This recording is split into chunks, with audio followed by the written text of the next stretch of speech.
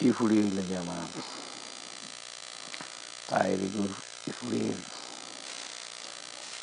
আঘাত, কিন্তু গন্ধ কম।